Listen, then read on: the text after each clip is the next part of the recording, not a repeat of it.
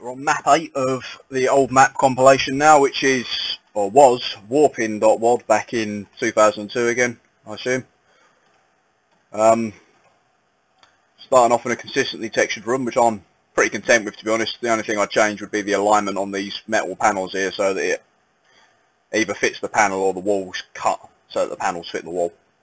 Right, so we've got a central teleport here, which will drop me into some sort of trap. Yeah, gently surrounded there. No music playing in this at all because I chose not to upload it with any. Probably could have just left the defaults going to be honest, but we've all heard them a million times. So here would be quite consistent aside from this rather pointless transition from brown to metal here. You could have left it all brown or all metal. Uh, with the rest of the room, brown might have even been a better choice to be honest. Although the metal goes well against these panels here. Likewise, some kind of division there would have been nice. This is a relatively short map, and obviously the central gimmick will be teleporting.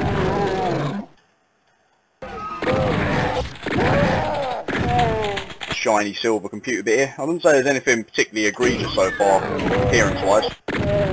And even this door's reasonably thin, with the marble bit here. Not a secret, but it's like a hidden room at least, so there's something there. Um, yeah, I suppose that's a trap. Another pointless transition here.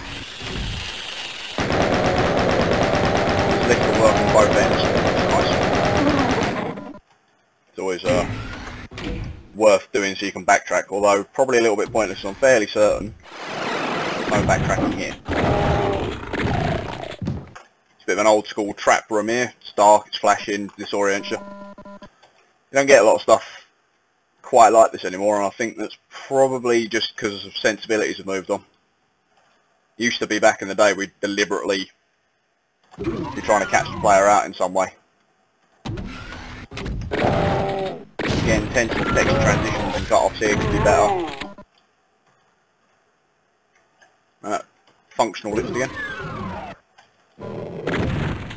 Yeah, I thought that might be a concern here. Really, these days the accepted thing to do is have your uh, have your doors have some kind of lip at least so that they don't scroll directly up into the sky.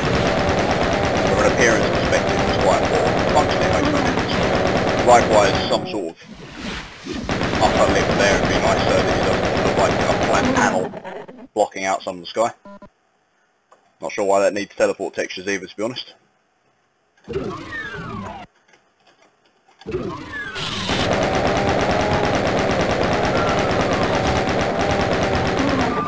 suppose your problem here is that your keys just activate things which are right next to them. There's no no real sense of needing the keys there. You could easily just add these two be choices. There's no no sort of element of non-linearity really that the layout require was. Probably based on that room in the factory where you have their um, where you teleport in the middle of uh, a few imps that are trapped. This is a very overscaled and ambitious room.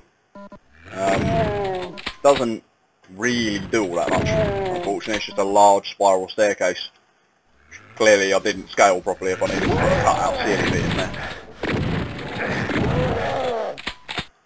Uh, sort of plays a bit like the uh, beginning of the Circle of Death where you run around the outside of the battle, the hit scanners before taking on the rest of the area. Difference, of course, being that everything in there is optional and half of it will have killed each other before you even get there. I did revisit this idea in uh, that Coils of the Twisted Tail I made. I feel like that's probably a better better use of the idea with a more tighter scale. Mean, this, is, this isn't an attractive area and it's not particularly well laid out one. Although the Magnus Crossfire can be a little difficult if you choose to actually fight it. I mean, overall, I wouldn't say that this map achieves anything more than the others done. Um, particularly the last map was a lot of the same, really, teleporting between disparate areas. The only real difference is that we've got a bit of extra scaler, and um, maybe slight improvements on the texturing, although this exit switch would imply otherwise.